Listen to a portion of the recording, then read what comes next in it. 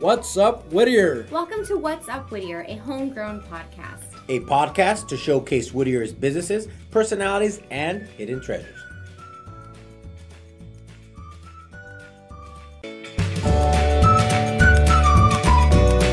Hey there, City of Whittier.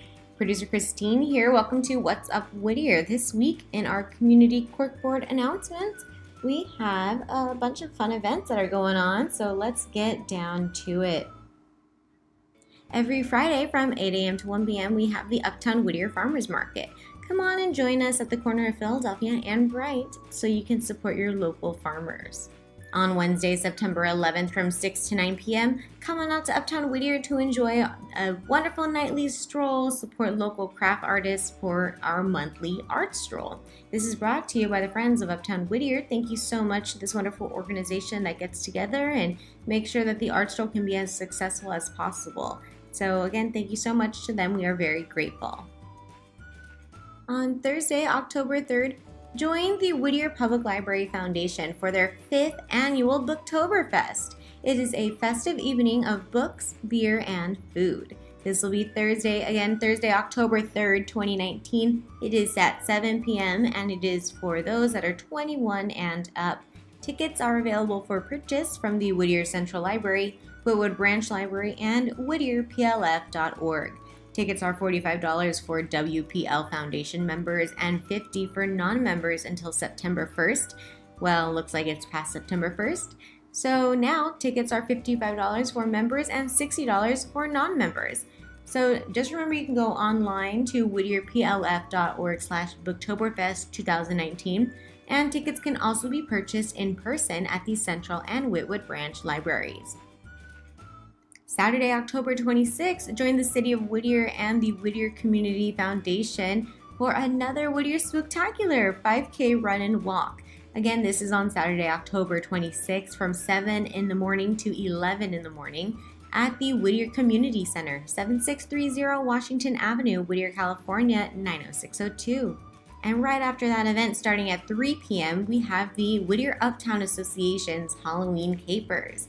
So remember to eat, drink, and be scary.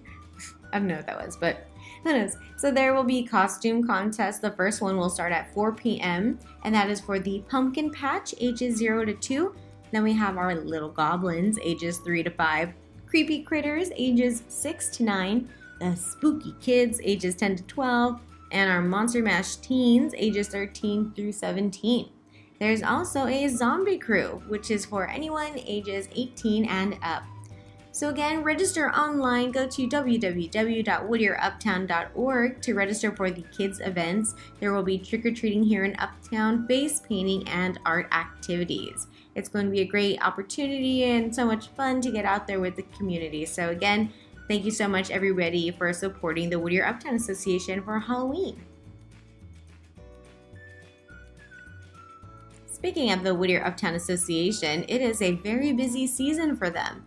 So it looks like on Saturday, December 7th, is the 27th annual Holiday Sonata from 4 p.m. to 9 p.m.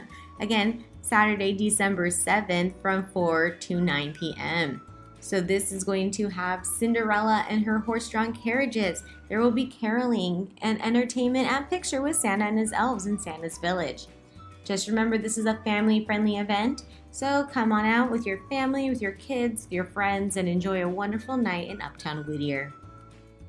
And I know so many people have been waiting for this event. It is the 66th annual Christmas Parade in Uptown Whittier, Saturday, December 14th from 10 a.m. to 12 p.m. The parade attracts over 15,000 visitors from Whittier and surrounding communities. Many attend to see their friends and family walk through the historic event, Entries can include marching bands, vintage autos, floats, dance troupes, drill teams, and more. Santa Claus also makes his appearance per usual at the end of the event. If you wish to be a sponsor or if you'd like more information, please contact Olivia Rios, the operations manager of the Whittier Uptown Association at 562-696-2662 or olivia at whittieruptown.org. All right, looks like that's all I have for this week's Community Corkboard announcements. If you are a local business and you are interested in sponsoring uh, your announcement in the community corkboard announcements in regards to sales or if you're going to have any specialty events, specialty dinners, or you know any type of meals. Let us know. Please send us an email at whatsupwhittier.pod at gmail.com. Again, this is your producer, Christine. If there's anything else you would like for us to include in the community corkboard announcements, please send it to our social media. Follow us on social media. It's at What's Up Whittier on Instagram and Facebook. Follow Remo the Realtor at Remo the Realtor on everything. He's so good about it. Go on Instagram, go to Facebook, go to remotherealtor.com so you can sign up for his newsletter, and also uh, give his team a follow. Follow at Team Remo the Realtor. They're really great people. I'm honestly grateful to know them. Don't forget to follow our very own J2 Architects, Jesse, Jesse the Architect, his firm. J2 Architects. There's a lot of cool stuff coming up for Jesse. He's looking to make his social media a little bit more interactive. So please drop on by, give him some love, and go to j2architects.com. and like I mentioned in our previous episode, I am still running for mayor for the city of Whittier. I know it's pretty exciting. So I have a couple great projects coming up, and hopefully I'll be able to sprinkle them in as we go on. I don't mean to bore you with any events that I have coming up, which I do. Please, for more information, visit all of my social media at Christine for Whittier on Instagram, on Facebook, and go to christineforwhittier.com. You are able to contribute on the website, which I'm so grateful for. Every dollar counts. You know, $5 is the difference between $995 and $1,000. So your dollars really matter and they count. And to have a successful campaign, we need the support of the community, really. So again, like I said, you can go online to the website christineforwhittier.com so you can contribute to our campaign. This is a people run campaign. And also you can find out more information for the upcoming fundraiser on September 21st that I am having at here, the Whittier Brewing Co. I'm recording this uh, at work right now. So pretty cool. Thank you guys so much for your support in the community. I'm very grateful to know uh, most, if not all of you. Don't forget to go to iTunes and uh, wherever you're listening to podcasts and leave us a review. It helps other local Whittierites find us. Uh, so shout out to Mr. Don Marla, who's given us a review. Uh, super cool, Don, super fan. Um, also, Reverend Ed, uh, he's also a super fan. Cool guys. So thank you so much, everybody. And make sure that you subscribe to the podcast also. For those of you that are expecting the Whittier Brewing Co. to open, you never know. I may just throw out the date when it's supposed to open. We are looking at getting it up and running soon. So thank you so much for your support. And yeah, take care, everybody, and enjoy this episode. Take it away, Jesse and Remo. What's up, Whittier? Dun, da, da, da. Remo. That was a little loud. we gotta, we gotta tone that down. The baby's asleep. Yeah, come on, Jesse. I don't know, man. Maybe we gotta wake up the baby. No, no, let's not wake up the baby. Yeah. You don't have babies. You have kids now. Yeah, So it you don't want to wake up the babies. Remo, it sounds like we're at a busy spot. Yes, we are here staring at a woman. A woman that has a headpiece, and we're at the mural, looking at the mural inside the modern shaman. I'm glad you said a mural because it was going in a different direction. I think. I, I didn't. I didn't realize it because I saw the headpiece and I was thinking, is it like tribal? All right. Well, that was my interpretation of it, at least. Honestly, you gotta explain it further when you're you're you have no visuals and it's all Yeah. just audio, man. Next time, just That's right. That's right. So we're at the Modern Shaman. Obviously, Mm-hmm. we're recording offsite now, and uh, today we have the uh, pleasure of having uh, two awesome guests, special guests. Hi. And if you don't know, now you know. Mike and Kim, welcome. Hi. Thank you. See, I was, I was waiting for I was waiting for Mike to say something like just Something and this clever is- and Yeah, no. I got We'll get stage there. fright. yeah. well, welcome, guys. Welcome, Thank guys. you. So we're, Thank we're you. recording here at the Modern Shaman on Greenleaf. So you guys are uh, hosting us today, and we're going to get to know a little bit about you and your story and um, your adventures here in Whittier. We're ready. Let's do it. A- And actually, before before we get into the modern shaman, um, the cool thing about recording here, which which is way long overdue, is that this is where all three of us actually met in the same spot. Obviously, different name, different restaurant, but but same location. This is where the podcast was actually formed. Oh my gosh, you're kidding. Yeah, There so in the front area, we, that's where we all kind of met for the first time. When it wa- when it was, Was working working good. good, yeah. Oh, that's awesome. this is where we So started. this is history. This is yeah, yeah. It's like cool. going back to the to the historic. Uh, It's what like is one of those buildings that's 100 years old, but Yeah. yeah, but it's three years old. That's No, right, that's Our podcast. The reason why I bring that up is if you guys want to put like a little plaque somewhere that says uh, "What's up Whittier podcast was born here." I mean, I don't know. Well, You'll have No. a special table here always. No, Jesse. That's a great idea. yes, I'm sure people are going to flock in because they see the plaque of. Well, Jesse, you've definitely put your mark on this space. Um, you know, since then, being the architect that helped us out with this whole place and and got us going. So thank you for that. Yeah, thank that's you. right. That's right. Thank you, guys. Um, so, with that said, for people that don't know what the modern shaman is, what is a modern shaman? Well, first of all, it's a restaurant. Is that what you meant? Yes. right. What kind of restaurant? Um, because what, we could talk about what is a shaman as Oh, there you go. well. Yeah, that's right. But that's um, that'll be you know That's a maybe really good later. point. Yeah. that just registered. So, um, Modern Shaman's a restaurant. We're new in Uptown Whittier. We opened on February 4th, so we're just about six months in. Um, we, we focus on making comfort food that's delicious. I hope everybody feels that way.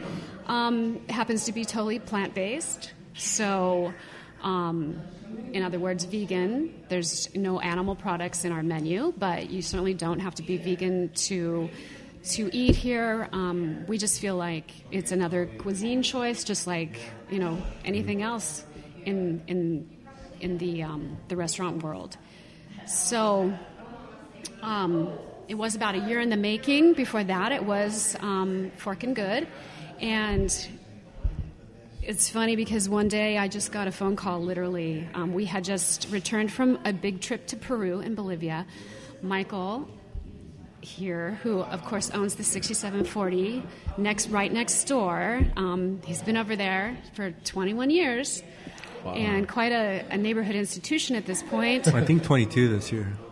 Wow. This, the 15th. On July 15th, that's Yeah. right. Oh my gosh. So um, I was at home. I, I got a phone call. He said, Kim, I think I just bought the restaurant next door. I was like, okay. And you're waiting for a reaction. It's like when a guy buys something and he doesn't want to tell to his wife. Yeah, it wasn't like you know a car or uh, it was a business, and um, s- but I love that idea. I love it. Um, I think Uptown's a really cool place to have a business. The community here, um, you know, because Michael's you know been part of it for so for decades. Yeah. So um, I was like, yeah, okay, let's do it. But um, I've been a vegetarian since I was 21 years old, and it's always been a huge part of, um, you know, just my life. My whole entire family is vegetarian. Strangely enough, it just worked out that way. And um, Michael became vegetarian when we got together eight years ago. And um, I go, okay, but it has to be vegetarian. He goes, Was, was that the idea, Mike? When you bought it, did you say, "Let's open up a, veg- a vegetarian or vegan place"? Okay. Oh, sorry. um, yeah, it was. I think in my brain, my puny little brain, it was um, vegetarian. But just from that, I think a few days after that, it just made more sense to be vegan Got it. than to just if you're going to do it, just do it. Yeah. Yeah, we developed a menu that turned out to be vegan. We didn't even necessarily mean to do that, but um, that's how it And all ended had up going a down. menu. We worked on one a few years back. We were So he has been thinking about this for a while We- before we you were- even got the Yes. spot. Yeah, we had a business plan and all for another spot in Los Angeles oh, nice. years ago. Nice. Yeah, so a lot of it's not the same place, Yeah. but we had like that business plan. Yeah. It was adapted. No, no, we you st- wrote We started from Yeah. scratch again. Yeah. So, um, you know, Yeah, Kim's we good at felt that like kind of stuff. like Whittier was ready. Um, the 6740 has had a lot of vegan options on its menu for the last few years, and, and they've that's where been really popular. started. Business, business um, got much better, and we became a restaurant. So we we sell as much food as we do beer now. I know it's crazy.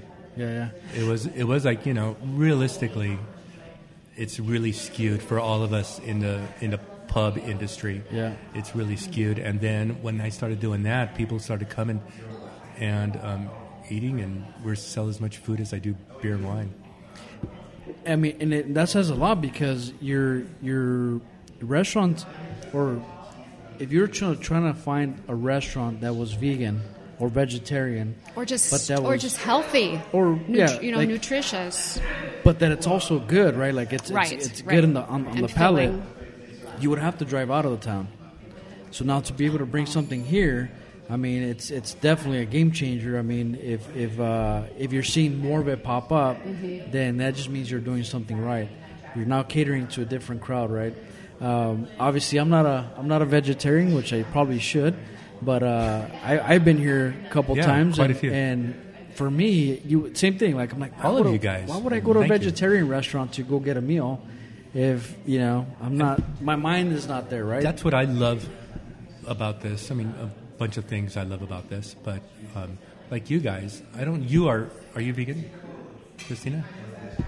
Oh, oh you're not Uh, here. No, but I do plant based during the week, Mm-hmm. and uh, I eat meat on the weekends. But, you know. because I know these guys aren't, and you guys come in here a lot, and I would say 80% of our customers aren't plant based. oh wow. They come with other people, or Yeah. they just aren't. Yeah. It, the And- food's good, So- right, and that's the that's, biggest all we thing. care about. Yeah. I mean, that's not all we care about, but we you know we care about having a plant-based diet and exposing folks to that. You know, the, and I was gonna say like one example is that I've had the burger here several times, and if I didn't know it was a plant based burger, like, I mean, I, I, when we were eating, I'm like, man, this thing's a really good burger, and like, not realizing that it wasn't. It Have you had the corn dog? You have. Yeah, I've had the corn dog Yeah. also, which is good. Yeah. Um, so it's good. I mean, it, it fooled me. It fooled my palate. It fooled me completely, which is a good thing um, because that just means that you could enjoy it. You could enjoy your food. Um, The first time I, I came here, and I- I'll share a funny story. Um, you know, I, not really processing what vegan is, what, what it's not, and so we get the nachos, and I see some, and I'm thinking. Every time I order nachos, no matter where I go, they put sour cream, and I say, "Hey, no sour cream." So I said, "Excuse me, um, with the with the nachos, can you not put sour cream?" Eva, my wife, looks at me. She's like, "Are you serious?" I was like, "What?" I don't want sour cream. She's like, they don't have it. It's, it's You're good to go. You're like, safe. Yeah, You're safe I was here. like, oh, okay, well. And then mental note Eva, there. Eva's pretty into the vegan menudo. Yeah, she is. She Yeah. actually told me to bring some with her. I was like, I'm not gonna bring some with you. I'm- What are you talking about? I'm running around. I'm not gonna carry vegan menudo. We went one place. Good. I don't know. Some we went to a restaurant one time and we got some menudo and we were I think Ubering somewhere and we had this menudo with us for like Oh, two no. spots and we left it in the Uber. So uh, anytime she asked me to bring soup home, I just say no. It's not gonna make it home. It's gonna end somewhere else. Yeah. I End thought you were going to tell us you spilt it. No, no, I, it probably spilled, unfortunately, but um, no. so, but but Mike, you've had that also on the 6740 Yeah, for for years. years, right? Mhm. I mean, can you talk about like where that came from and, and why it still Well, continues to?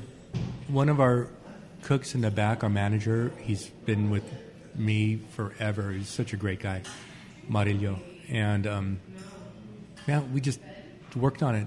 We worked on it. I knew I was going to you know use a vegetable base, and just kind of we. It Hey. took a long. Didn't you take Marilia's um, wife's, you know, Yeah. family traditional recipe? and I just you know jacked with it. Took the took the um, the meat broth out, put a veggie broth in, and just made it the way I wanted it every time. Yeah. And that was just you know no I need more chili. I want this. I just made my perfect menudo. Yeah, yeah, yeah. Nice. So, do you? I mean, when you create a new like dish, do you say, okay, what does it look like with without plant based, with with meat or whatever it might be, and then take that out and then kind of try to replicate, or how's the process of? It can work that way. Here it doesn't work that way. Okay. You can do that. Yeah, I think a lot of places do. And yeah, um, Alfredo. Uh-huh.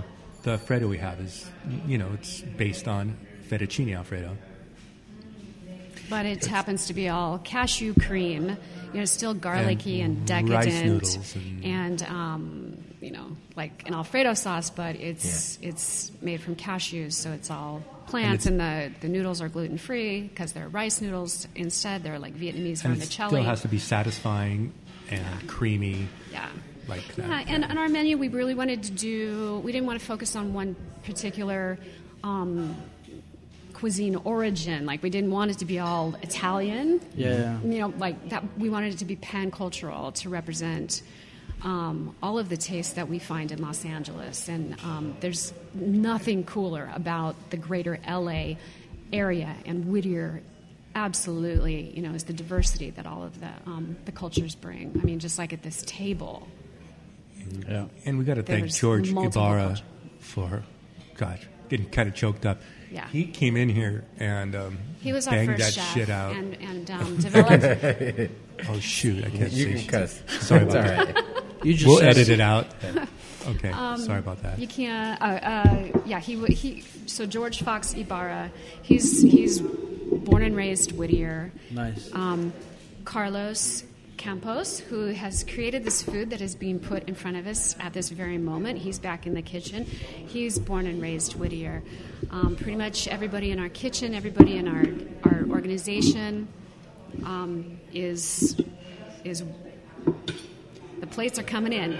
Yes. coming Nobody's in. listening to what I'm saying. cream? All eyes are on the on the table. Yeah, ex, they put extra sour cream for you. Yeah. So can we have a knife? So we just So- got some, some So, food yeah. put in So- front of us. You wanna- It was George's creativity. I mean, creativity that um, catapulted catapulted this and um, jump started and And he's he's um, he had a good vegetarian and vegan cooking background. Um, That's what I was gonna say. that, like, it's that helped a but lot. it is that but it was creativity is I would say seventy five percent or eight of the battle. yeah, yeah, yeah. With Well- any, and that's the ca- going to be the case with any not the right business. Yeah. You know, cu- in the culinary arts, absolutely, because you're literally creating a product that people pu- put in their mouths. You know, Yeah, yeah. so um, you know, it, it also has to be. It's our kitchen is all about cooking with you know making it with love too. So I hope that comes across as well. Big time. A- a- And I think it's gonna. I was gonna say part of it has to do with like when you're going into creating these flavors that you guys are putting together, and in a sense, you're trying to to get that same flavor as if it was a re- like. Well, I mean, I'm looking at the cheeseburger, right? So if you're trying to put together the flavors of what a cheeseburger will look like, is it uh, again, in my sense, trying to appeal to somebody who eats meat. Um, having that background of being experienced that You said that what flavors will look like. Yeah. But that's it. It's I think you meant the flavors taste like. Yeah. But it's look like as well. That's Yes. what the menudo. That's why the menudo's extra good because it looks like it's fattier than it is. there you go So it's it's there's it's looking it's eating with your eyes as well. yeah yeah. So that mm, there's a satisfaction in that. Like Yeah, it's a whole like experience, The right? boy right there. Like I love an oyster po' boy. is so it's so American. It's so New Orleans and. Um, So we figured out a way to do it with oyster mushrooms instead of And that's- you know s- actual and that's seafood. a George George mentioned that years ago before we even we even um, started Sure, this. but Yeah, nice. I've known I've known him for quite a while. Him and his brother. His brother worked for me. Nice So we have some food here, guys. Um, so walk us through of what we're seeing yeah. here So we have our our bestseller, the jackfruit nachos, which without um, sour cream with no sour cream, extra sour cream, extra sour cream.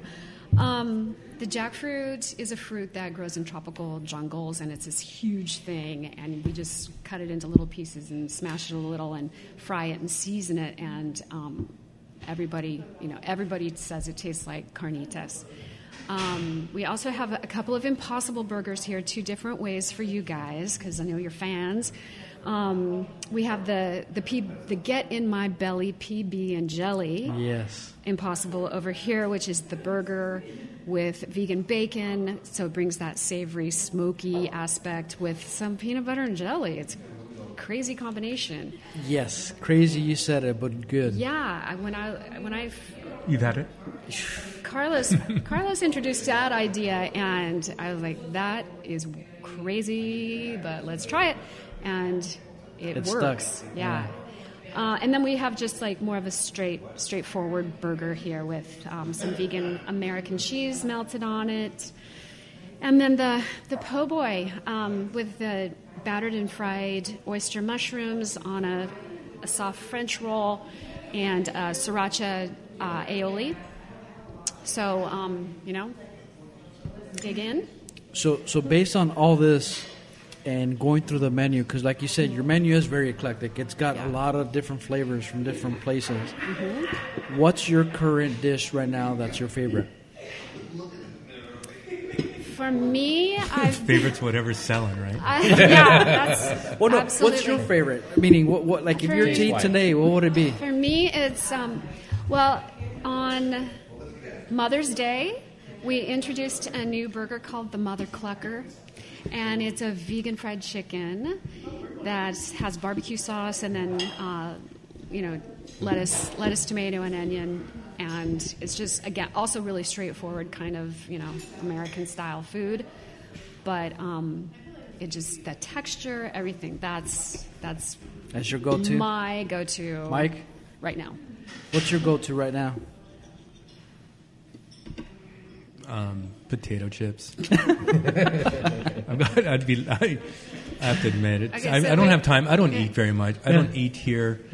I don't eat there. I just eat on the run. And if I could pick up a plate of potato chips and just, it's satisfying. And I wish. I wish I had time to have that. That looks really good. I think that po' boy boy. looks super good.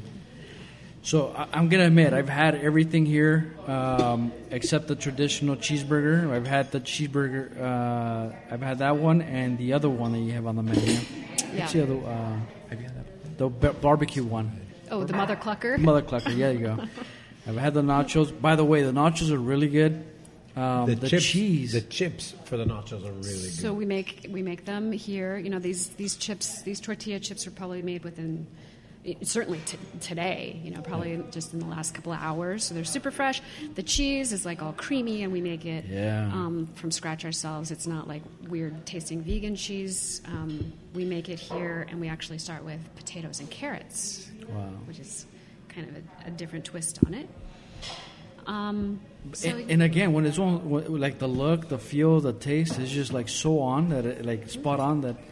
Man, I, I could eat here every day. You know. Cute. Evan and I came at Good. night, and we came back for lunch the next day. I know. I love seeing you. I know. I was back in the office um, during dinner, and my, I get a little alert, you know, that somebody just posted a story from Modern Shaman, and I, I'm like, oh my God, Remo's here! So I run out here, and I'm like, hi. So And then we come back the next morning. yeah, yeah, yeah, yeah. I love it. I love it. Remo, What, what's, what, oh, no, what's your Oh, you're gonna favorite? ask me to say again. My my go-to, which is really good, is is a PBJ one. Mm-hmm. Um, I haven't had it with the. I don't remember having it with the bacon. It always had the bacon. Oh, it did. Yeah. Oh, so mine was like undercover, which is why it was good. Um, but yeah, man, that burger is really good. Yeah. Mine, hands down, is a is a bacon burger as well, or the the peanut butter and Jelly. jelly bacon burger. Which which is if, if you don't see it on the menu, you can still order, right? Because It's it's on the off. special menu. There you go. Just say you know Remo, Yeah. Yep. Good luck. and then it goes Yeah. on, and it goes to his tab. It's Yeah. oh man. Okay. So, some take some bites. Yeah, enjoy, enjoy. And uh, in terms of in terms of the name Modern Shaman, where does that come from? It went through a bunch of names. Yeah. We. It wasn't very easy. Yeah, we we wanted to name a you know a special name that had meaning and significance, um, not just to us, but sounded interesting Good job. in Remo. general. One hand. Good You cutting. Cutting. Um, so, oh no, that's for you guys. Yeah, yeah, yeah. Oh, man. So, in the, at the very, very end of 2017, we took uh, an adventure into South America. It was basically, you know, just pretty much a vacation for us, but um, we ended up traveling with meeting and and um, being led all up and down the country in onto Lake Titicaca, multiple. Um, islands and temples and ancient spaces um, with with shaman. So we we were traveling with with we traveled with one shaman, and then she um, would would bring in the the um, wherever we were, she would bring other shaman to to teach us, and we would do. Um, you know, we would travel to ancient Incan temples. Of course, um, you know, we went to Machu Picchu, but after, uh, which everybody knows in Peru, they've heard of that, and it's kind of, I think it's considered one of, you know, the seven wonders of the world. Right. But um, that actually turned out to be like, that's for tourists, you know, based on all of the other crazy, amazing stuff we did there and saw and experienced and um, and learned. So it, so it kind of turned out not to just be a vacation. It, it turned into a, a spiritual journey. Nice. And with the shaman there, we did a lot of ceremonies and um, nothing weird. It's um, it's just about connecting with with the, the earth, that, which is um, their mother nature. They they call her Pachamama, and um, that's that goes back to the mural that we're sitting below right now.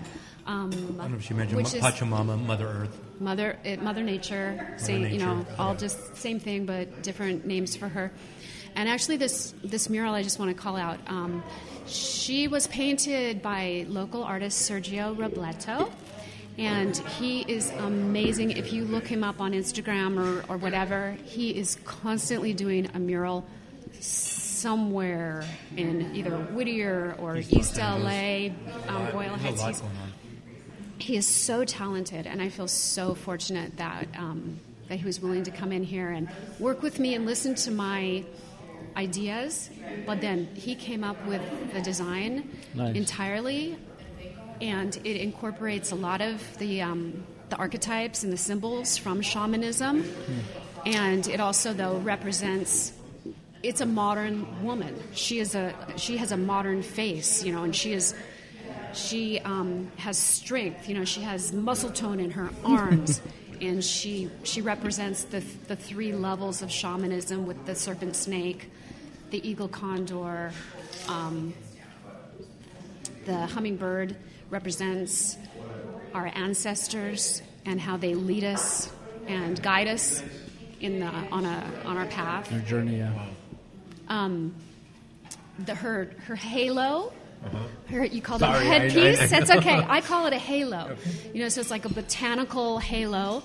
So um, that represents you know nature, and the shaman in in Peru and Bolivia, they work with nature and they are basically just the, the indigenous healers, the mystical healers. So they, they work with um, things from the earth. They pull from the earth, literally rocks, you know, um, plants, feathers, you know, all of that kind of um, those kind of items, and they they heal, you know, physically and spiritually and emotionally. It's mind, body, spirit, and they um, also heal and do clearings so that you never hopefully have to get sick in the first place. It's like a proactive kind of healing. And when we came back, we had done um, ceremonies where we, it was the end of the year, end of 2017.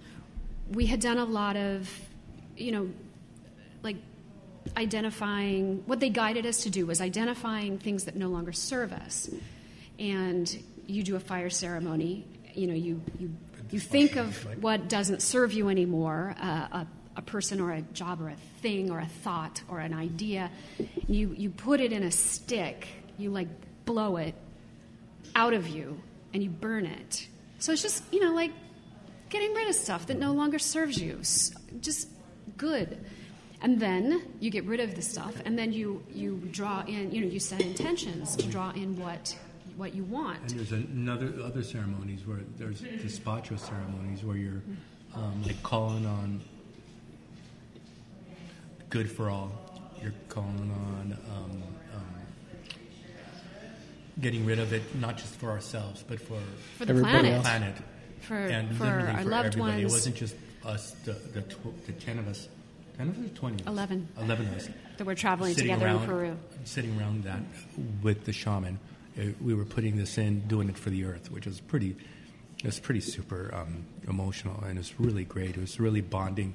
So it was um, Kimberly and I, someone from San Francisco, um, one from Um, we have Michigan. people from Finland, Russia, um, uh, Fi- uh, where were they? So it's it's just random was- people, then, huh? no, Yeah. random people Yeah. that we got really close to. Nice. and there was, Canada. Yeah, we almost there was a one. We, we don't have time to talk about it now, but we had we had this thing where the bus almost went off the side of the road. Whoa. So oh, we Oh no, bonded it wasn't the side of the road. It was a off a cliff, well, off the cliff. It was it's pretty one crazy. of the you know those stories that you hear happen in Peru. Yeah. we lived that on a daily basis. There it was came a emotional. point. Yeah, it, was, it was pretty emotional, and we all were together. And this this bus is sliding, Oh, and it's I mean sliding. It's slid maybe you know. No, but but when you're on a, a when you're cliff. on a when you're on a cliff and you're on a bus and it's way too big for the hairpin turn, yes. and they're trying they're trying to back it up, but it's sliding forward. The guy runs out, puts a carpet under to get traction. It's not, it's not working. Pulls out a boulder. It's not working. you know, just back and forth. You know, when you're it's, it's, it, the grade was really Yeah, yeah. really. Anyway, so back and forth. There was a point where we're all kind of just had to go deep. This is it. that was that was scary. That was And on this like the. That was like the, only third time in my life where I have, like, I feel like my palms were literally going spurt, spurt, spurt. Yeah. I mean, you know, they talk about the physical reactions you have in Yeah. fear. My palms were sweating, and everybody on the, this bus was just frozen. So there's this big giant bus with only 11 people in it. It, they, it was supposed to be more people on this trip. So we had this big, the bus was just too big. Yeah, This yeah. big downhill, this big turn. So Michael was a few rows back in back of me. We weren't sitting together in that moment, and I was like, "We're we're facing death in this moment Yeah. in our heads. Uh, You know, who knows?" But I turn around and I, I'm like, "Where, Michael? Where are you?" And I, I try, and he's just sitting in the back of the bus, eyes closed, and he's in prayer. He's talking to someone, and right then in that moment, I know we're gonna be fine Yeah. we're going to be fine. And maybe, you know, Wow. that's why we were. It was such a crazy moment. And that, that represented like almost the whole trip. I realized a few weeks into the trip, every day I started to wake up and think, how will we almost die today? You know? a bus. Uh, we had crazy stuff happen on airplanes, like little airplanes, because Oh, right, you're yeah. flying over the Andes. Every day we would wake up at like 14,000 feet. You know, just being at that elevation is intense. Not being able to breathe and emotionally, Your all this, ser- all this stuff going through. Uh, everybody was ill at one day or more than some days and going through emotional And it's not just It's- us; it's it's everybody. Everybody. Michael was on the bus. Um, I was in the hotel dealing with some Montezuma revenge stuff. So I didn't go up into Machu Picchu the second day. He did on the bus coming went to- back down. There is a girl on the bus having a seizure. So, do you want to hear the story?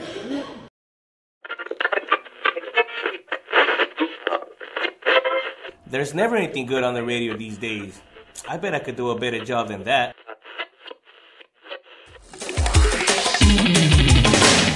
Wanted to produce or host your own radio show? Well, now's the time. What are you waiting for?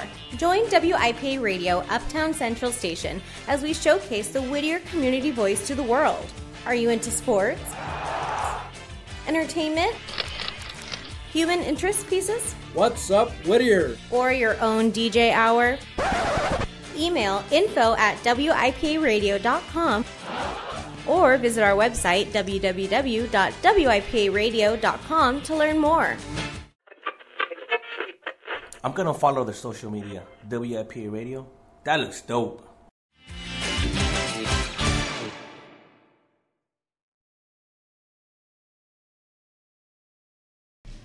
So, do you want to hear the story? Yeah. So this girl, so we're on the bus on the way down. I did. Um, what's the what's the other? What was the other peak? Ma- Machu Picchu. Huayna Picchu. Wayu- Huayna Picchu. the little one. So I, it's it's above. There's a little like mountain behind it. Every time you see it. So I climbed that the second day, and I'm on the way back. Myself and the my our group, four of us were back there, and maybe it was two up front. Vadim sitting next to me says, um, "Hey, look, this one's," and she's like, looks like she was from, you know, she was definitely American, and um, she was just kind of like waving and kind of the, getting a bumpy ride. Then um, her nose starts bleeding, Wow. and she, her head just thunk on the side of the on, on the side of the um, window. Window, yeah, and um, girl next to her freaks out. I don't think they obviously didn't know each other. She jumped over, and there happened to be um, a shaman on board. No way. And they just look like normal people. You know, they, they've had Well, this he- the yeah. shamanic training and they're healers. The, a lot of the shaman that we traveled with were completely indigenous, pre-Inca, wore the, you know, full... Um, Q'eros. The, the, the Q'ero, Q'ero, they, you know, they wear the, um, the, the cape and, the, you know, like all of the colors. They look so cool. But then there's also just modern shaman. there you go. And he, And yeah, he just jumped this guy in. on the bus. He jumped in and he um, held her and he um, just did her did his thing. And I, I was right between right. and I was right there. Vadim's right here. and This is happening right next to me. And by the time we got to the end, he just this girl was fine. No way. And did It she was know? pretty- did- was she known to have seizure? Seizures? No, no, this was just some random woman. I don't know A who she was. Oh, wasn't part of Not your part of our or group. No, no. Oh, okay, Uh, got it. Just a random person on the bus. Maybe she didn't eat all day. Maybe she was, you know, could have been a million Yeah, different but things. Of, the bloody nose part, you know, something was yeah. going and on. she and she he Mm-hmm. yeah he just grabbed her and did um, like blew into her crown and her heart not like and um, Wow. blew, blew a bunch of stuff on him and, like, saying prayers and um, patting her. It was um, it, wa- he was doing really mellow and. People yelling to stop the bus. You can't keep going because the bus is just like rolling down this lane. It was pretty pretty intense. I was like, man, this thing happens right in front of me. I wasn't in halfway down the bus. Yeah. I'm sitting there watching this thing happen right there. And it was, and I lined up, so crazy enough, this person has been to Whittier. No way. And he has, Shaman. and he is, he is my, um, my good friend Patricia Pintz, of, of acquaintance of his, Dr. P, um, I can't think of his name right now. I'm going to look it up. And he was, um, yeah, it's this person I described what is happening to Patricia, and oh, I think that's blah blah blah, and it was him. I looked it up. That's the guy.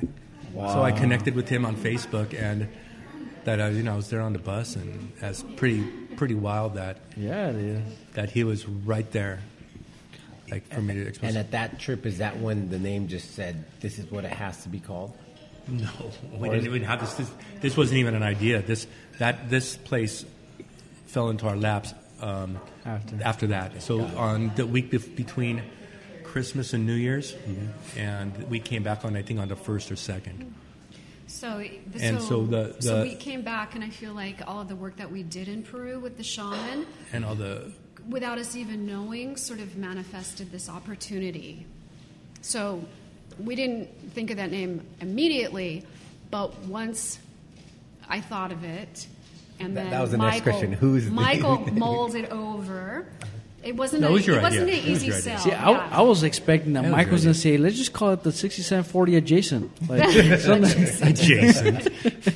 You're such an See, the architect. sixty-seven forty-four. Yeah, There you go. 6744, Yeah. 6740.1, 2. Yeah, The place so- next door. yeah, place Yeah. next door.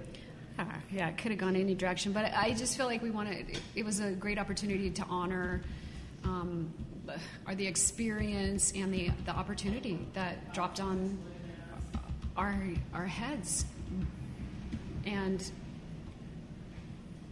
you know, I'd like to think it's because of the wor- the work that we did um, on that spiritual journey. Also, I will say um, I learned from the shaman they the way they do their healing, as I said before, they pull from the earth, from Pachamama. as a vegetarian, I believe that food is medicine, and if I can feed people pulled from the food that is pulled from the earth, in other words, you know, plant based, I also love the idea of feeding people in a way that will help them to not get sick in the first place. So that's another little, you know, connection there. And that's the way to get the cycle going back in the right direction. Because, you know, we, we if, if, as you're doing that, that's how you start improving things. Because if when it's going the other way, where you're just eating anything and just, you know, a couple of days ago I was at the landfill and just seeing all the plastic Oh, I and all saw that your stuff. pictures. And it's and so once you Yeah. start starting that, where now let's go the other way, that's when you see the improvements. Right. Right, exactly. So, and it's improvements for your for your body. Everybody mm-hmm. wants to be to feel good. Mm-hmm. Everybody wants to be healthy or healthier, whatever that means. And then and then it carries over into the environment and the planet. Not to mention, you know, the animals appreciate it too. So Yes. So, t- tell So- us, I I know you mentioned to Evan and I one time about like the ingredients. It's not just that; it's, there's more to than actually having just vegan food, right? Is it some of your suppliers? And I, I know we talked about maybe beer in the future. I don't know if we could talk about that. That would be all vegan. Oh yeah, yeah. So we, like we, we said when we started out, we just thought it'd be vegetarian. I, you know, I didn't, I didn't know if a vegan restaurant would be financially, financially viable. Mm-hmm. But it turns out, you know, we created this menu with George that is, it, it is you know, totally plant based, 100%. So that has been an, a, a crazy mind opening experience because I'm learning, I'm reading, and I'm researching, and I'm learning all of the things that are not vegan. You know, like like sugar. Um, Oh, we- we not vegan? Sugar is not vegan. It is it's processed with bone char. And um, so, you, so we can only use organic sugars here, organic cane sugar, you know, and, and we're good to go. But I didn't know Pabst that. Blue Ribbon is vegan. Did you just? I just it up? looked it up yesterday. Oh my What is God! Are we going to Yeah. bring in PBR? I go, PB, look, you can never go that. wrong with PBR, right? PBR is what? I know. Pabst Blue Ribbon. Oh, The beer. It's a, it's a drink. I was thinking You another. don't I'm, drink I'm beer. cutting a peanut butter and jelly sandwich. What's acronym now? PB and J with a PB and R. Oh, Yeah, I yeah. think we have a, a menu item there. It's a combo there. Okay, we don't have PB and R's on the menu at this time, but hmm. No. Eventually. Um, so, so I also learned that most wine, especially red wine, is um, not only not vegan, but not even vegetarian, which freaked me out because you know I do I I love to drink wine. Bef- so before- all these years, Before you go into it, what's the difference between vegan and vegetarian? well, vegan is one hundred percent no no animal anything, no animal byproduct. Um, vegan, you know, it's more than just a and it's more than just a diet.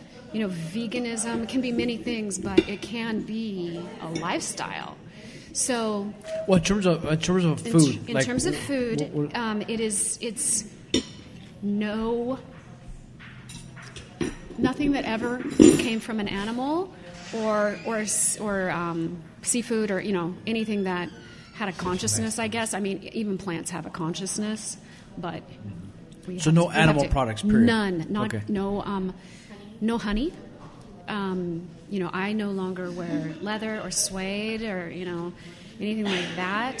So the um, what else? so what's veget? like- what would be vegetarian then? Well, that if it, che- we could have dairy, you know, if it was a vegetarian restaurant, we'd have cheese and eggs and and um, right things that animals did not die for.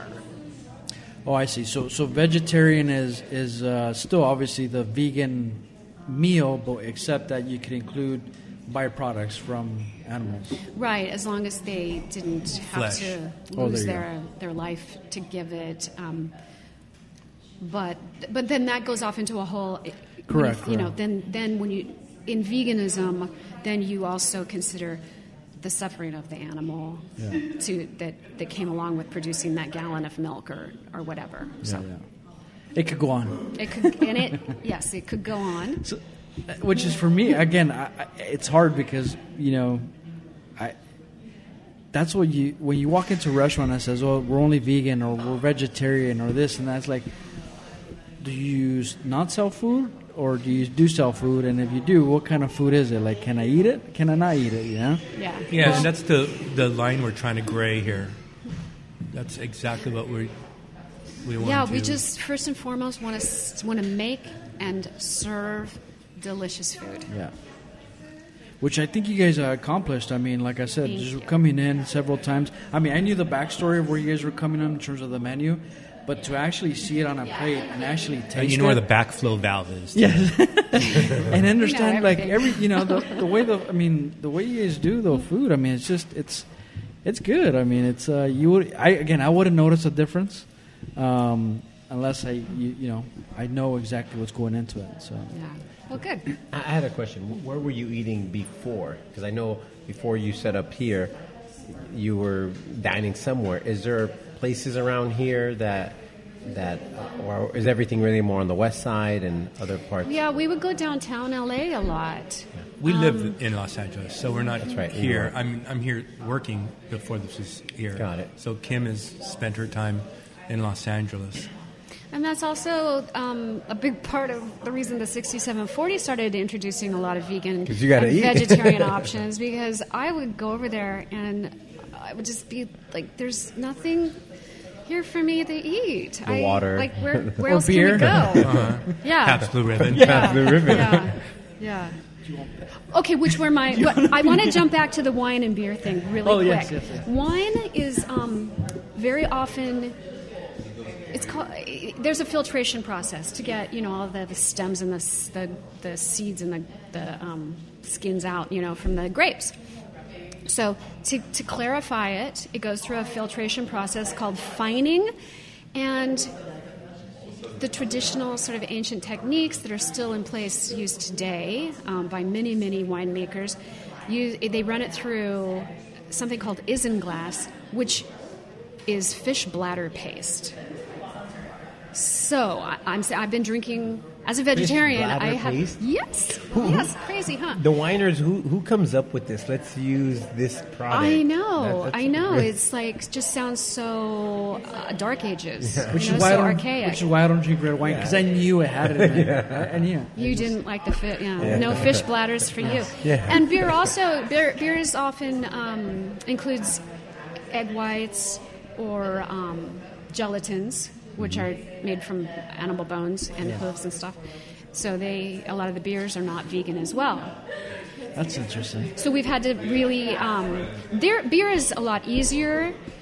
Beer is like a, a less ancient, you know, technique um, in production. So it's been, and and there's there's um, a lot of breweries, you know, here like Modern Times in downtown LA. They are entirely vegan. They have Oh, a vegan restaurant, and um, we serve. We have two of their beers on our menu. So a lot of the, the vegan restaurant or the vegan beers uh, or the beer comp- makers are more forward and and not including animal stuff in their in their brews. Um, wine, not so much. Wine has been much more of a challenge. Yeah. So, So, so, but do you guys offer a vegan option for wine, or is this? oh yeah, entirely, Okay. entire every, everything, everything, Everything in here is vegan? Everything, Okay. yeah, and that's for me, basically. Nice. I don't expect everybody to care about that, and you don't, you know, you don't have to think about it.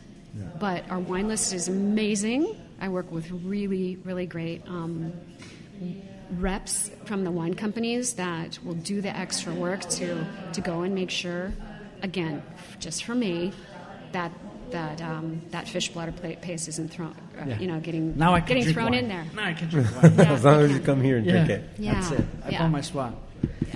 Oh man, that's awesome.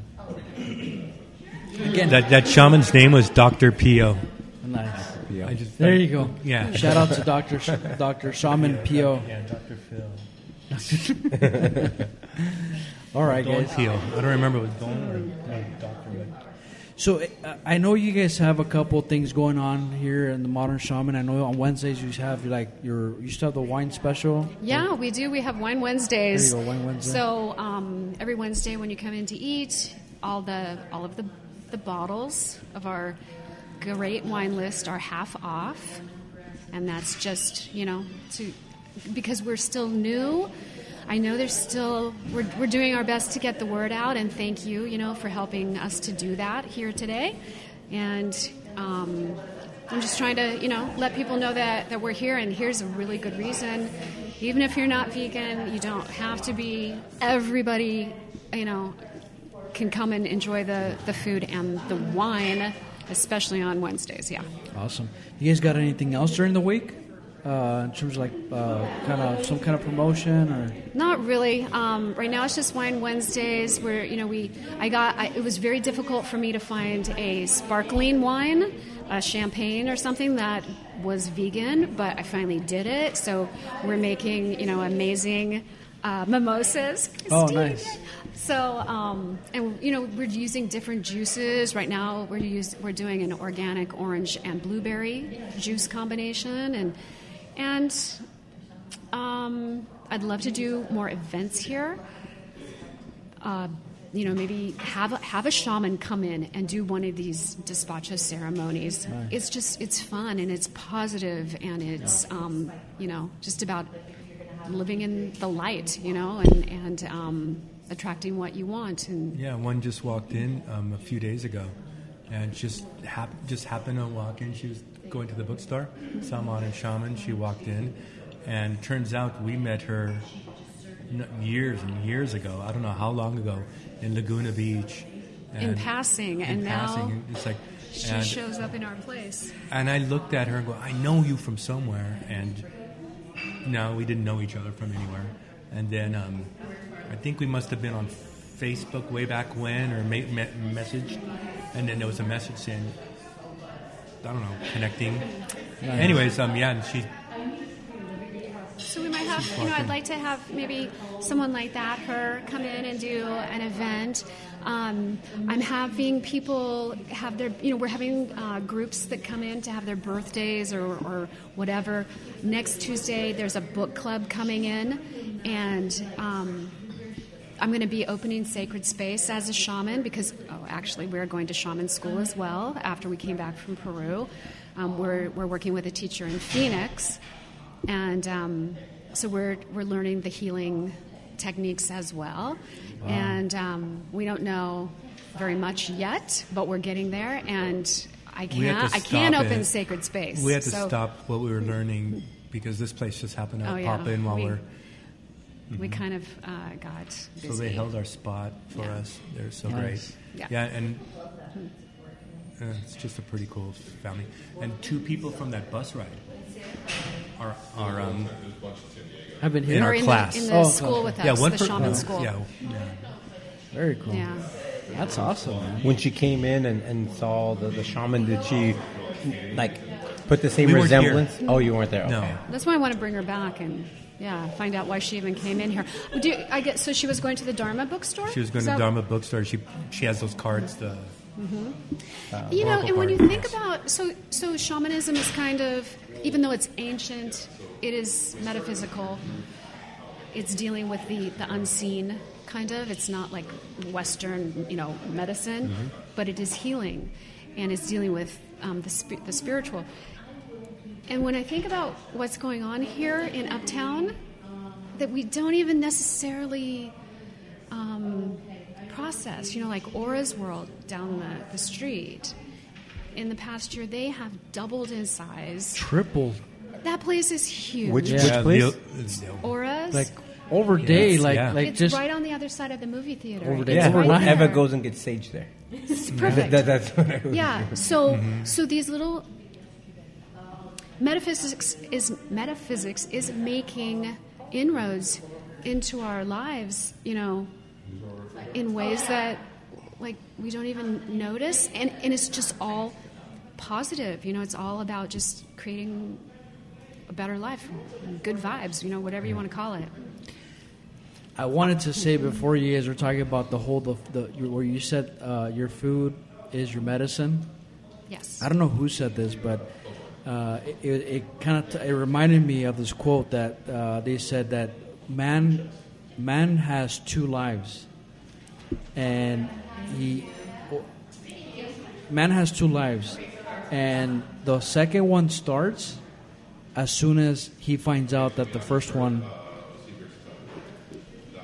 the first one is about to end or has an ending, and and it's like. I- When I heard that, I was like, "Oh man, it's like it's true." It's What like kind of beer were you drinking? I know. PBRs. Yeah, I was drinking- How many of them? All vegan, my friend. Uh, but it's true. It's like it's one of those things. Like you, you got it. Almost for some people, you got to get to a point where like you gotta, you gotta change that that lifestyle. Yeah, we have two lives, and the second one begins when we, re- we realize we only have one. There you go. And so, uh, does it say who said that? Huh? Confused. Yeah, that's right. That's right. And so, like, uh, Who dat? and it's un- yeah, and it's unfortunate, you know, because it's like you know you want to be able to to be here as long as you can, right? Um, and places like this obviously would help because it's it's uh, you're enjoying what you're eating, but at the same time not knowing that it has an actual benefit to it. You know, so. I want it to like you know taste delicious as you're eating it, and then I, I want everybody you know to f- just feel comfortable here. I want it to be a place to hang out. Yeah. Um, you know, date night or bring the kids or or whatever. It's definitely exactly what you're saying. To every you know, to every level in every way Yeah. for for this community, for sure.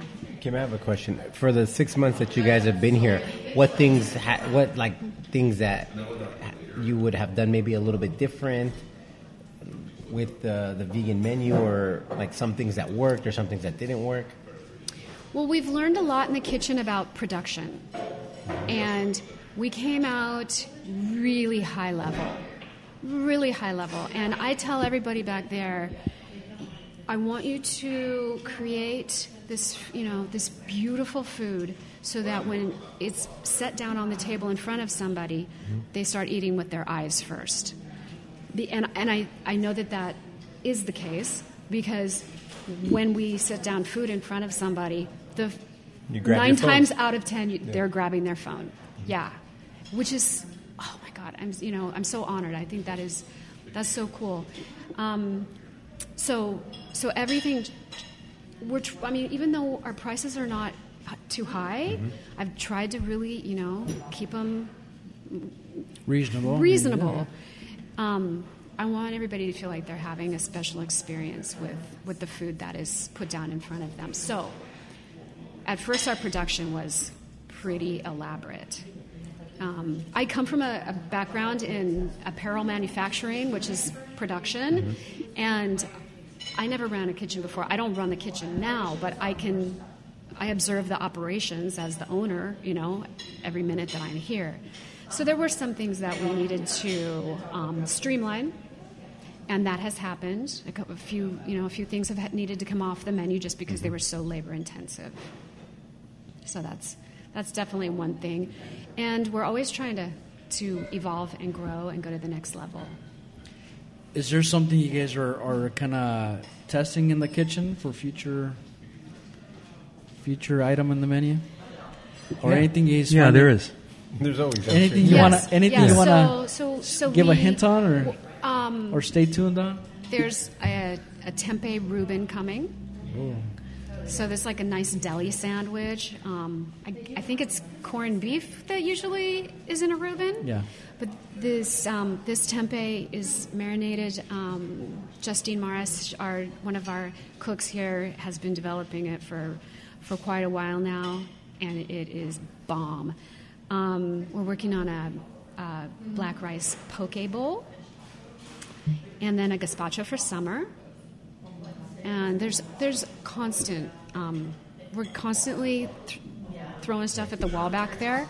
More tacos, but we we won't be doing you know traditional Mexican food you know culture tacos. We'll be doing our own twist, like the two tacos that we have now.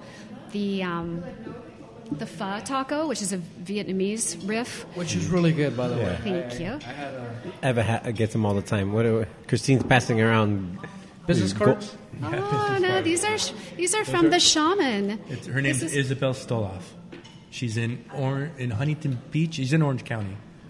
She So we're all pulling cards. Yeah. Are We these pulled it- considered shaman cards, tarot cards, or what? Or She she is a shaman, so I would say that she has um, created them from a, a sh- place of shamanic healing specifically, and each card has a symbol on it that is going to have um, some significance.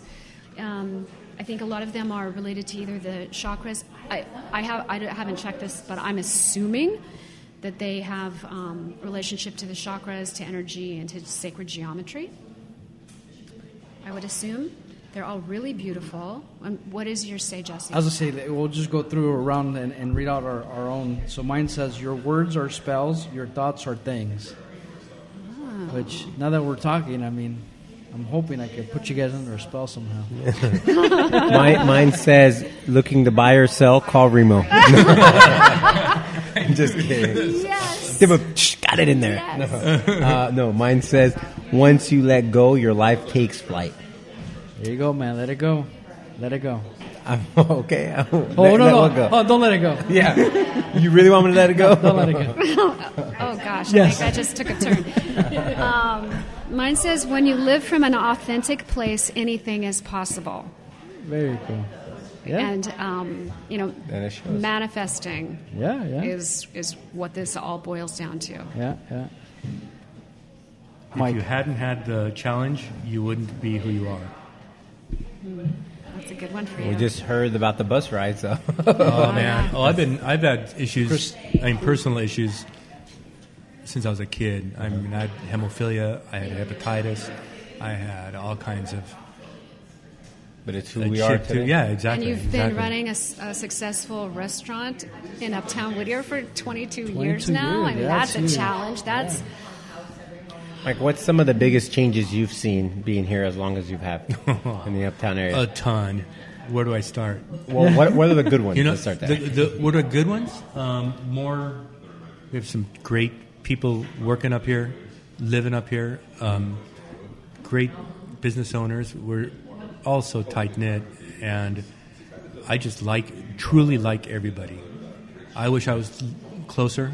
If I was closer, I'd sit, spend more time with them, like I used to when I was closer here. And um, yeah, it just everybody is just so authentic and um, all for one, one for all. It's pretty great. Nice. It's pretty. Um, yeah, it's not. It's not. We never thought of ourselves as um, as uh, as competition and stuff like that. It's always been to lift each other up. It kind of came naturally. Yeah. It's pretty great. That, that happens with good people. When you have good people, people want to lift each other up as opposed Yeah, to even feel maybe, threatened. yeah, exactly. You don't, Yeah. and I think that Yeah.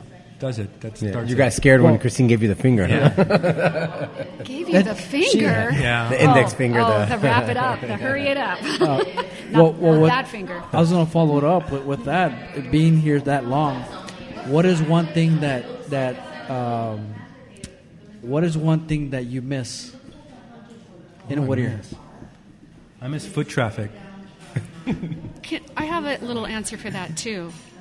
I'm here every night, every night after the sun goes down. And when we first opened, we started doing our soft openings, and it was we started um, in January. It, actually, we started super soft openings with the brown paper still on the window, with like just friends and family, like guinea pigs, basically. And it was Christmas time, and all of the people that we brought over here to Whittier, my mom who lives in Bakersfield, my sister from Altadena, you know, we're drawing them over here. And they're like, oh my God, Uptown is so magical and cute, and the lights in the trees. And the stores were staying open later. And it felt great to be here. So now the you know the seasons change and um, like I started to say, I'm here every night after dark, and it's really dark out there now. Yeah. I miss I miss the um, the lights in the trees. Yeah. I miss businesses that stay open past dark. As a business that is always open after dark, I think that there are things that could be. I wish that there were things that could be done that would bring the foot traffic, bring the families, bring people walking their dogs. Um, like they're they're doing I don't know if it's the city or Parks and Rec is doing this movie theater um, or movie, movie theater in the parks series this summer. But it's only three, and it's in a different park every time. And who can track it? I would love to see a movie series in the green space right here on Greenleaf. That's a perfect space for You it. could just put it on the, you know, either get one of those blow up projector or um, Yeah, yeah. screens, Screens, yeah. or just show it on the side of the one of the, the buildings there, you know, and everybody can bring a blanket. It's be Well- the par- there's parking right there. There's public restrooms in the parking structure. It's like the perfect place to just draw people on a regular basis. Um, I miss that kind of thing in Uptown after dark. which is a, a very valid point. You got other cities that have something similar during summer where they do that Yeah. in these big open spaces. Yeah. And it just talk about drawing a family to go have Mm-hmm. dinner, you know, snacks or dessert or, Mm-hmm. or just hang out, you know, it, it's a perfect draw. Um, we're, good, we're gonna get it. We started our Whittier questions, I guess. You started early, Um, but go ahead. what what is if you're not here at the Modern Shaman or at the 6740? Where would where would you frequent? What's your go-to? To grab a drink, grab a bite, go say hi to somebody. Well, what's your uh, your your place currently? Currently, yeah, I will go to the commoner. I will grab food from Veggie Cat. I would. Um, Yeah, hold on. Shout out to Laura at Veggie K. Also, uh, pioneer um, as far as vegan cuisine goes in this neighborhood, a pioneer in her, in the community as a business owner. She's she um, came in here and ate night before last. You know, I, I sit down and we talk and we. Does we, she tell um, you how many times we see each other at different places? Smart and final. Oh, and just I- like, I- I- just like always. Yeah. And then you know, knowing Yeah. everybody, um, like um, Tony at the um, Crooked Gaff. Crooked Gaff, yeah. Yeah, we were both. We were all three of us. At were same in, place, um, same at aisle? Smart and Final the other day. That happens so. I love it. Yeah. We love the vibe at Flight. You know, there's Yeah, not a course, lot Flight. that's, that we can eat there, but oh my! But we find it, and they modify stuff for us, and they always have a great wine, and um, and the people are super nice, and we love Jay and Nakomi. very cool. Yeah, it just it doesn't stop. It's everywhere. It's everywhere. Michael's is- shopping I don't in go- Melrose Vintage pretty much every day. Yeah, 'cause we have to wear Where's your shirt from? Melrose Vintage. Yeah. I think I'm wearing. I think I'm wearing your shirt, Mike. Which is the one you just sold. Yeah, no, I'm buying. I don't think they sell yet. Yeah, and um, but I don't frequent since I've lived haven't lived out here. I don't frequent too many places up here. Where I was up here all the time, Yeah. And you know, visiting everybody and doing all that stuff. If there was something missing in the city that you would like to see, maybe if it already was here and left, that you would like to have come back, what would it be? Because you go way back. I mean, you went to high school was- here. I went to high Yeah, school, grew up I've in listened, and I'm and I'm not. I'm not a, a Whittier person. I did live here. I lived here when I was 23, and my dad lived That's up on met each Greenleaf, and I moved in with him. I was going to Cal State Long Beach to save rent. I gave up my apartment in Long Beach. Moved in with him up in Starlight Estates. Wow, Dad, you Mm-hmm. got a nice view. You got four bedrooms. What do you say? Sure. So I got a job at the Warehouse Record Store on Whittier Boulevard, which is now, I think, the paint store down, down in Edwards or something. Oh, Goodwill. No, Oh, it's the paint, oh, is it Goodwill now? The paint store on Colima and Whittier Boulevard, across the street from that store. No, yeah, the it's- paint it's store. still It's Sherman. done. Yeah. It's Sherman Williams. Done- no, still done. Oh, Edwards. Dun sure, Edwards. Sherman. Okay. Dun Edwards, yeah. Anyway, uh, Michael Kerchoff was my boss when I was No 23 way. years old. So that is when we originally. 24 and her that, we, that's when we originally met. Uh, I only lasted there for maybe six months. Did you fire her? I know. This. Yeah, No, she Oh. left. I was. We should have started there. I know. But we remained friends. I actually was living with my dad because I was saving money and um, trying to sell my 69 Karmann Ghia so I could go to Europe because I was just like didn't Yeah. know what I was doing in college. I needed to like go have an adventure, come back, and then I figured it out. But I left um, Whittier and got on a plane to go to London for months and came back, went back to Cal State Long Beach. Michael also went to Cal State Long Beach, ran into him there. We started hanging out again as friends. We were friends for a long time. We were friends for years, and in fact, Michael came to my wedding in the early 90s. So that's how I and I, I even I remember what he wore. You know, he, he we were 'Cause he always good. He looked good, Yeah. except for a bow. He was wearing a bolo tie, Yeah. but otherwise, From from Melrose was it? all- Funny. I wonder if he has them. Good idea. Oh, I should check into that. oh no. So that's how far we go back. And also, I should that okay. He came to my first wedding, um, but when we were in Peru, we were actually married by shaman in Cusco, in Oh, Peru. nice. So so he was there th- for that wedding. right? for that wedding, yeah, he, yeah, Yeah. we were there for that too. Yeah. Wow, that's an awesome story. You know what we need? No, well, I Okay, got a lot of time I- to I bought you some time but to it think doesn't about an happen answer. anymore. It's because um, you know, because the internet, the way Amazon and buying online, that stores like um, Port LeBain and Local Fixture, they just those short stores like that don't exist anymore Yeah. because it's not cost effective for us to go to the store, find parking, jump in, jump out. So, and that we had 20 years ago, there was a ton of stores out here, Yeah. and it was that's where the, when that's where foot traffic came from, and there was people walking and doing their thing like we all did, and um, yeah, it just doesn't happen. But that's not Whittier's fault. That's just the way. we're all- that's the way we're heading. Yeah.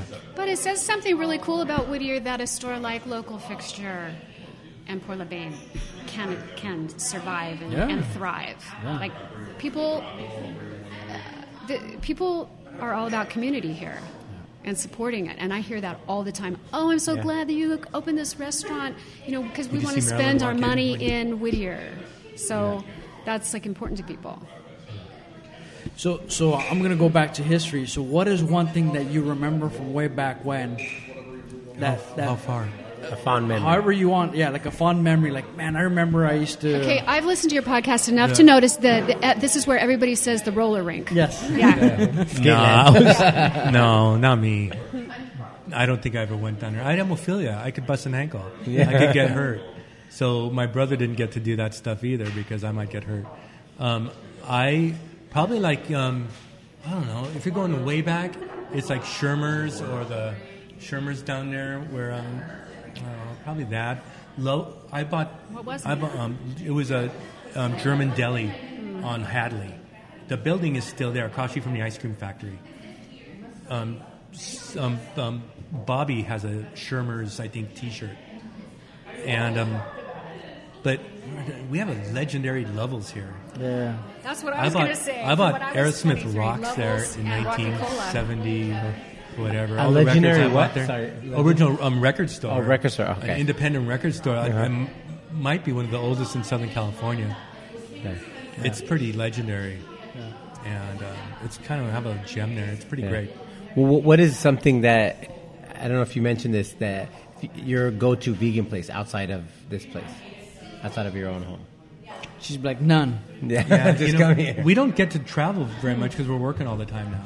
Well, when there started And so to, many have opened up. when when since vegan we've st- up. restaurants started popping up around Mm-hmm. Greater LA, you know, that was amazing. Like Cafe Gratitude. Mm-hmm. Um, I walked in there the first time and ordered, you know, all these things because it was overwhelming. You mean I can eat anything Mm-hmm. here? You know, and um, Real Food Daily.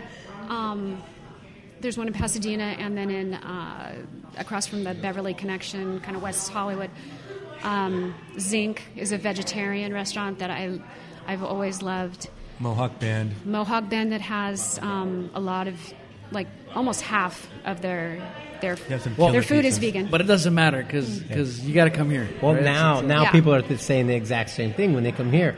All I can eat everything in here Exactly. without I having know, I know, and a lot of those vegan restaurants in the beginning, they, we would um, go in and order so much food and spend $100 on lunch. Yeah. And I'd walk out and I'd go, I'm, I'm hungry. I'm still, I, like, I can only digest so much shard, you know? So that's why when we were putting together this menu, it was super important to me that it be comfort food, it be filling, it be rich and satisfying, but still plants. So, so my little tip if you do come and dine out here is ask for a side of Wait, nacho cheese. If or when? You said if. Come on, Oh, Jesse. when come. when you show up. Thanks. He's fired. Uh, No. uh, make sure you get a side of uh, nacho cheese because that thing goes good on anything. Yep. And just order the PB and J. The get in my belly, Get in my PB belly, and yeah. J. Don't order anything else. Just get that. Everyone that comes, just get that, and then the, that should be everyone's like starter to it, and then they'll realize Yeah. this is really vegan. That's what it's about. Try um, breaking those boundaries. Well, we're excited that you guys are definitely in here in Uptown, and uh, we'll continue to venture off here and try different things. I'll probably try the exact same thing, but Evan will try different, Evan will try different things, and I'll taste it from her plate. And with that said, I mean, where where can people, uh, I guess, give us your actual location, uh, physical location?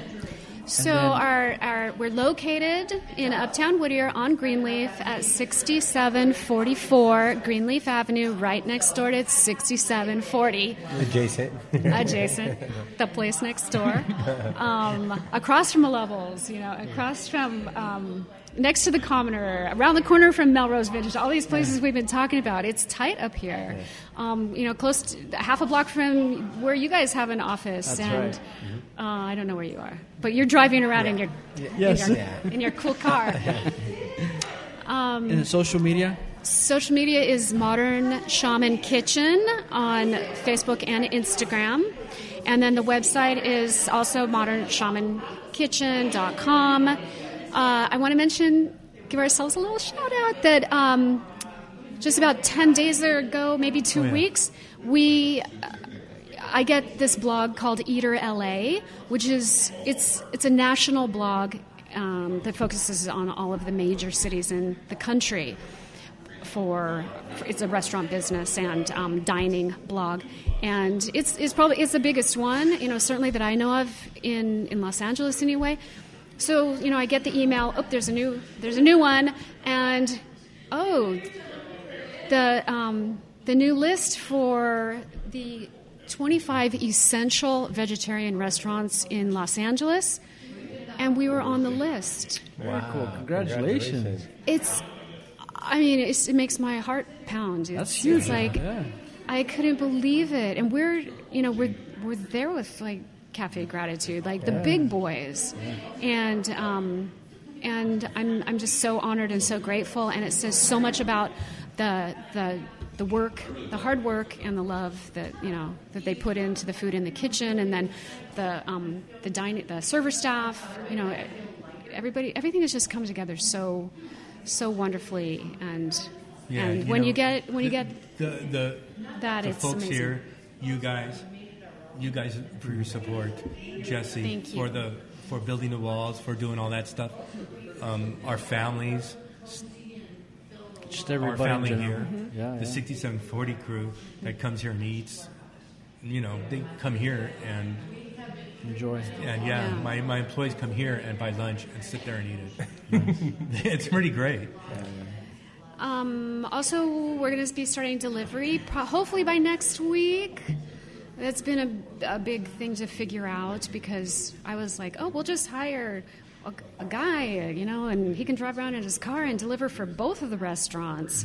But insurance does not allow that um, at this point in this um, world of liability concern. So we did a lot of research and we're going to go with Uber Eats here, but then actually Oh, we're doing Postmates. at, at 6740, he just start, started with Postmates last week. So, um, I'm sorry. One thing I missed was the bike ride, the Uptown. Oh, the Uptown courier, Courier. yeah. Those guys were great, man. oh yeah, we missed them. Come back. Albert, Albert was had it all together, and he got it all. All those guys working, and Yeah. there was a point where they had all of our all of our restaurants going, and they were doing I don't know let's say five a day from how knows how who knows how many. Yeah. Yeah, Five, five, five what? Five, Five, five um, orders. Five Like, let's say deliveries. just from the six M forty. just from just from me in one day. And they were would on do- bicycles. They would do the um, Delia Express.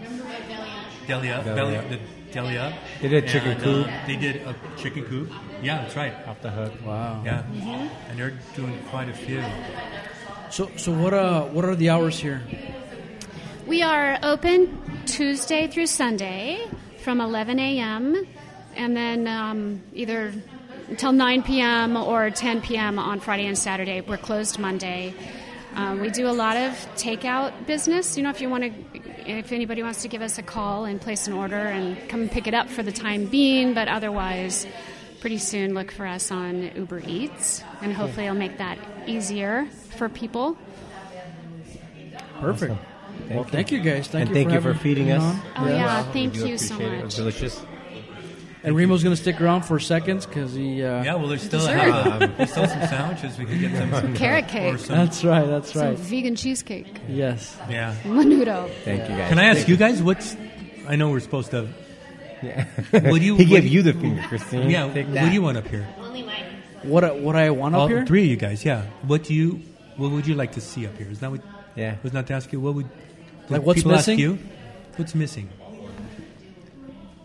What I think is missing is just more uh, housing, like like more more either apartments or condos in the uptown. Um, and I, I think I've said this several times is that if you're trying to really create that foot traffic, then you have to have people who are actually living here, That's valid. so they could walk down, get their local coffee in the morning with the pastry, come down for lunch, come down for dinner. You know, have people meet them here who are out of towners. You know, or, or say they they live in LA. Yeah. They say, "Come visit me at my house. We'll go grab you know good cafe down the street or a little shop here." You know, so I think if you put people to live in this area, it, it'll create its own economy.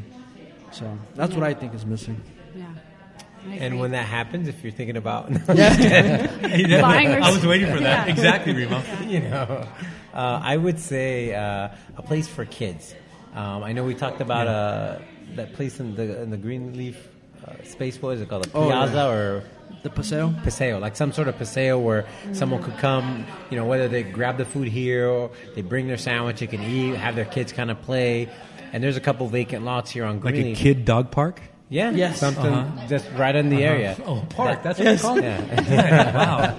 wow. so something like that that you know family could come out and have the kids play and and continue that foot traffic here 'Cause, Yeah, that's awesome. you know there's very few places where if you're pushing a stroller i mean you're you're probably just going to look but you're not coming inside places they're not kids are not playing Right, Yeah, and you think about there's there are those places like in Glendale or you know the Americana, Yeah. or um, the Grove, and they're they're prefab. They've been created to be to feel like community, and they've they put a fountain and a park so the Yeah. kids can run around and there's music, but it's not real. Mm-hmm. Then everybody leaves and goes back to where they really live. Mm-hmm.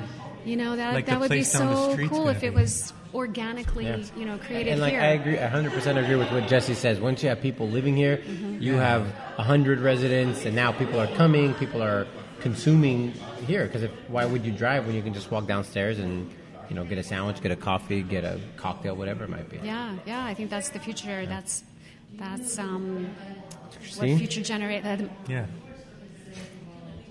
Uh, what were you going to say again? What uh, was your future. question? I was going to Yeah. pull out that millennial Yeah. word. Yeah, well, y'all heard my answer in episode 100, but I think uh, movement. Movement, whether it's people moving into residential areas here, whether it's people moving into businesses here, whether it's helping businesses get going faster. You guys were working on this project for two years. I think a lot of that could have been cut, right? A lot of that time was waiting for commissions maybe to get together You know- or anything like that. You know, I gotta. No, it was a lot of all the stalling was more on us. On you know, Well, just, not, just I mean, the as an city did- example, there are different the places. city the city was so the city was so great they were so accommodating they um, they helped they didn't they were you know and with jesse's help not jesse was there to um, to quarterback it all and it was they were really good Because they you, are Mr. here. Whittier, that's why. Some people might they- You've been around and you're an icon here. You have the so key don't to the city. Those guys don't know me. Oh, come on. They've all bought a PBR Yeah, from you. all of them. No, but they they were really, really great and supportive. Well, I still say movement. So No, no, but it is. You're right, but movement. But I mean, it wouldn't be necessarily that they were. It took us a year, but it took us a year of. There's finance and there's all I kinds mean, of. I'm not blaming it. I'm not trying to place No, no. blame on any No. sort of organization or anything. I, I just think mean that it. things move so slow, which is kind of the charm about Whittier. But if we want to have a vision for a future, it, it, it can't take this long. Well said. What's the other question, Mike? Are we done? Mike, and my address Mike's, is. Mike's the interviewer. Yeah. Yeah. Well, you helped. Me. Yeah. Go back to that. You and my brother um, did a lot of stuff. And by the way, I, I mean, we have to have another sit down uh, podcast with you, your brother, and your uncle because, like, there's a lot of history you guys have. Like, Uncle Bill. Uncle Bill, I mean, it's, it's, um, Yeah, Uncle Bill comes in here often. yeah. So, so his uncle is actually uh, a colleague of, uh, of somebody who I used to work with. And it, it, it's, it's funny how this connection happens. But just, uh, I sat with you guys for, for a couple times, you know, and just the conversations that we've had, it's like, it's been pretty good, man. Yeah. I mean, I- I'll kind of throw it out there. I thought you were gonna say your the, the the fondest memory that you have was was uh, coming close to uh, uh, what's it, Richard Ramirez? Uh, uh, Oh, our backyards. on your backyard, Yeah, which yeah. is No, I lived don't. on Lundin off of Strang. which is we had scary. we had This is catty corner backyards on that. Those people who got um, murdered. You were on Strang or you're I was on, on Lundin. So That's the, right. The yeah. house on the other side yeah, of the fence. so he, we, our catty corner, like, our and they our and they said. No way. So Michael and his brother were home that night alone. You, were you guys in high school? Because Um, this is in the 80s. remember. Yeah, oh, was I don't know. if it was in the But 70s, They we were- said they they say um, didn't somebody knock on the door that night? yeah, I think someone did. Mike's shaking the head. Don't- He's like, please Don't don't, go Please don't remind me. Please. I know. Anyways, we'll leave it for the next But time. they didn't. Okay. We'll, we'll have you talk about it when we have you Yeah. on. Again, thank you guys for coming. And uh, for those of you who have not tried modern shaman, you guys got to get out here and make sure you order a set of uh, cheese. and your PB and J. With Get no in sour, my belly. With no sour cream. Thank you guys. All right, Thank you. Bye, Whittier. See you later, Whittier.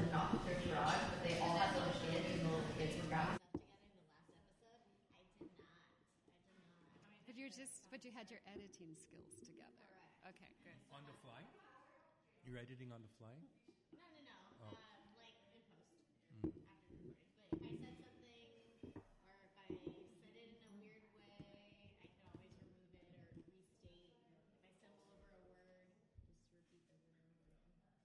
Some of the charm of the podcast. It's not. Oh yeah. It's it's, it Okay. doesn't have to be perfect, and Okay. people know it's just a conversation. Okay. Everyone said we got it all charmed. What's happening here? oh, you didn't get the text message or text each other? Everyone grabbed their phone at the exact same time. Oh my god, too funny. All right, let's do this. This is weird. Yeah. Kim Harlan. Yes. Katrin? Are you ready? Yes. Are you? Remo, you ready? mumble, mumble, mumble. She's gonna bring us. Jess is gonna bring us food. Should she just like Yeah. bring it in? Okay. Okay. Okay. The only thing does this does this can you hear all that? Oh yeah. It does, but Yeah. Okay. it'll add to it.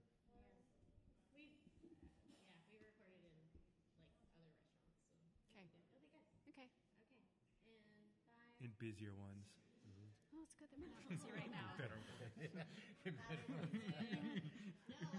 With real food. With dead animals on the plate.